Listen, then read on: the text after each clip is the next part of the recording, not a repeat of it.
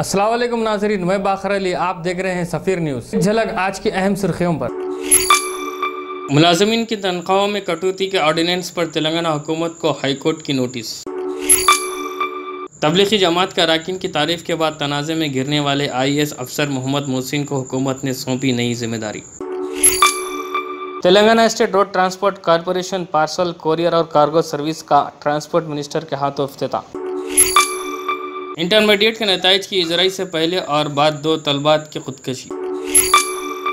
हैदराबाद में सबक वज़ीर के क्वार्टर में जुआ खेलने वाले गिरफ़्तार। कामारेड्डी में राहुल गांधी की सालगिरह तकरीब, शब्बीर अली के हाथों गरीबों में इमदाद। जगदियाल में चीते की मौजूदगी आवाम खौफजदा। सिलसिले खादरिया मुल्तानिया की जानब से टीवी न्यूज़ एटीन एंकर के खिलाफ पुलिस में शिकायत। अब खबरें तफसील से। तेलंगाना हाईकोर्ट ने सरकारी मुलाजमीन और वजीफ़ायाबों की रकम में कटौती करने से मुतल हुकूमत के जारी करदा आर्डीनेंस पर नोटिस जारी की है और तीन हफ्तों के अंदर जवाब देने की हिदायत दी है। Retired IFS officer Raman Goud ने हाई कोर्ट में एक दरख्वास्त दाखिल करते हुए आर्डीनेंस को चैलेंज किया और कहा कि हुकूमत को वजीफ़े में कटौती का कोई हक नहीं होता।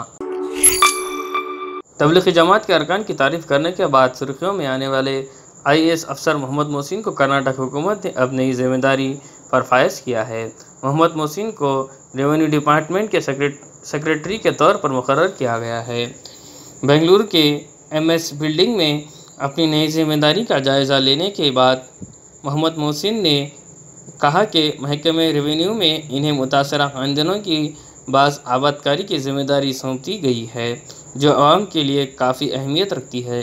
वजह है कि मोहम्मद मोहसिन हालिया दिनों में दो बड़े तनाज़ात की वजह से सुर्खियों में रहे हैं।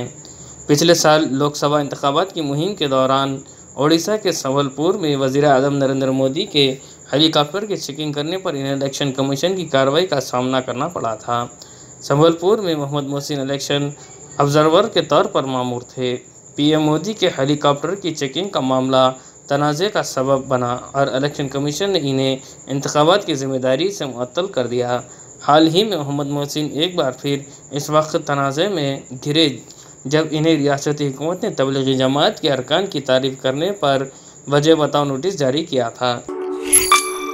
आज ट्रांसपोर्ट भवन, खैरताबाद, तेलंगाना में ट्रांसपोर्ट मिनिस्टर पोवाड़ा अजय कुमार के हाथों Telangana state road transport corporation parcel courier और कार्गो सर्विसेज़ का अफ्ताह अमल में आया।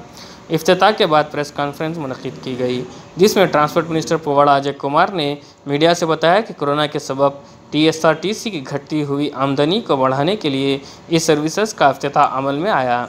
ये सर्विसेज़ 140 बस स्टैंड्स पर मुहैन रहेगी।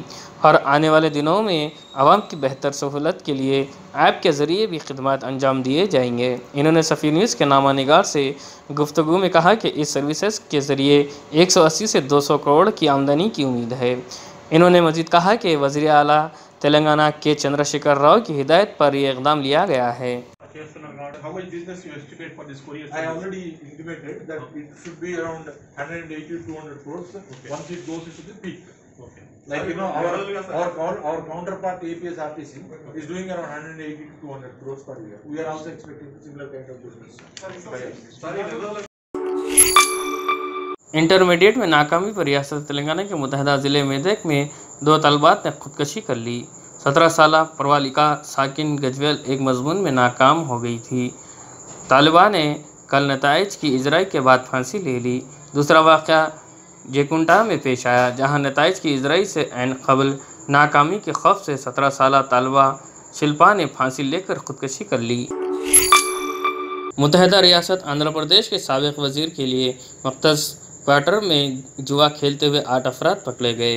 हैदराबाद के आदर्श नगर में वाक़ न्यू एमएलए क्वार्टर्स में सबक रियासती वज़ीर मुकेश गौड़ के लिए मख्त करदा क्वार्टर नंबर एक सौ उनतीस में बास अफराद जुआ खेल रहे थे। बाबसुख जराई की इतला पर कल रात पुलिस ने धावा करके इन तमाम को हिरासत में ले लिया।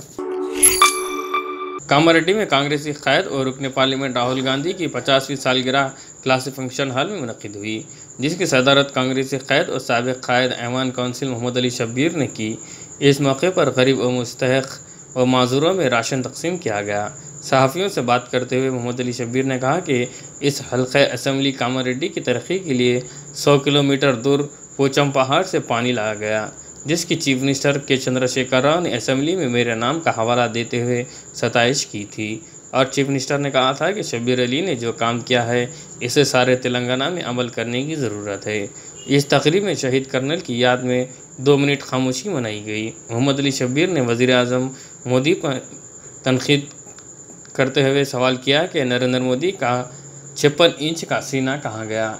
जब चीन के फौजियों ने हिंदुस्तान के फौजियों पर हमला करते हुए शहीद कर दिया।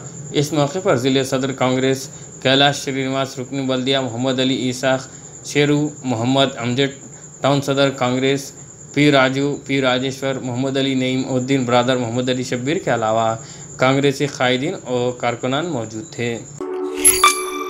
रियासत तेलंगाना के जगदियाल में चीते की मौजूदगी की इतला से आवाम में खौफ और दहशत की लहर पाई जाती है। वानीनगर इलाके में चीते को देखने के बाद लोग खौफसदा हो गए और महकमे जंगलात के हुकाम को इतला दी गई। हुकाम वहाँ पहुँच गए और इस इलाके में नज़र आने वाला जंगली जानवर चीता, बोरबच्चा है या कुछ और, इसका पता चलाने की कोशिश की जा रही है और उसे पकड़ने की तैयारियाँ की जा रही है।